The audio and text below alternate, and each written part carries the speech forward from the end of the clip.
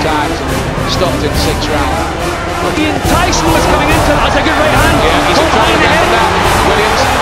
But again, he's hitting the clear and done a huge vintage Tyson Williams is doing British boxing proud here. Right cross twice from Williams as they work in close. He's not a Single shot. He's taking punches now. His defences are scattered. and he's in trouble here. Williams is getting to him.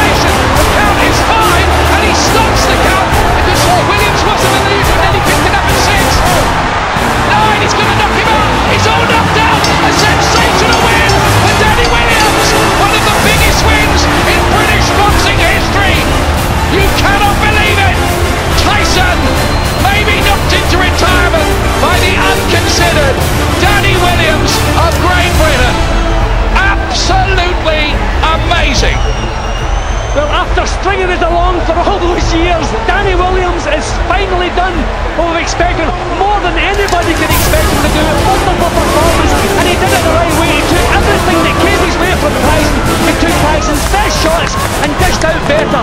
Wonderful performance, fantastic. I'm trying to get my breath back. That is the biggest British win in America, I'd say, since Lloyd Honeyghan upset the man who was regarded as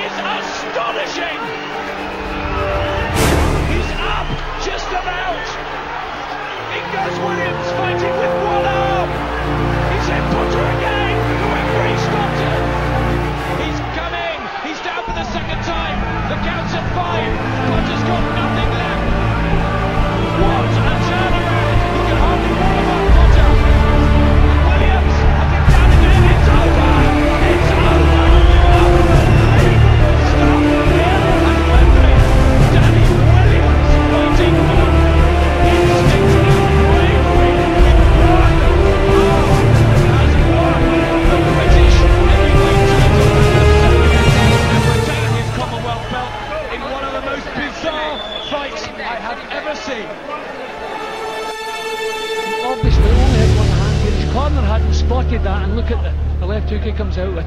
He couldn't even deliver the punch properly because it affects your own balance when one of your arms is gone. So, so your own balance is not right. But look at the he gets power into this. It's not set properly. Bang, beautiful left hook, bang on the chin.